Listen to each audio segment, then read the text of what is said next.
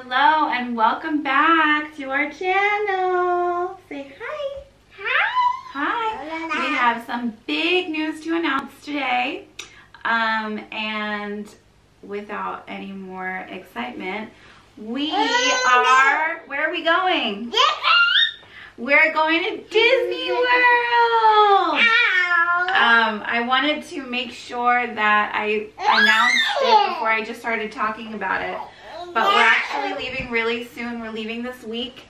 Um, and it's our first time going as a family. Pat and I are crazy Disney people. We love Disney. We got engaged in Disney. And um, so this is our first time going with kids.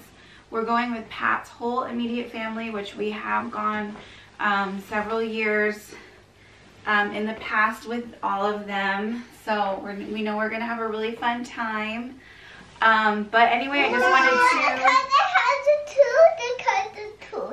announce, I was talking, announce that we're going so it's not weird that we just start talking about it. But it's going to be the girls' first time. So if you are an experienced parent, um, Disney parent, please leave your comments. please leave your comments of your favorite, most important Disney tips. Um, we know a lot about traveling with kids, but we've never done Disney with kids. And I haven't gone to Disney as a kid ever. I The first time I went, I was like 11. So I've never even done like all the baby Disney stuff.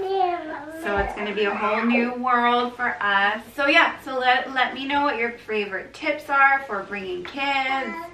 Um, where I plan to do a video about what we're packing.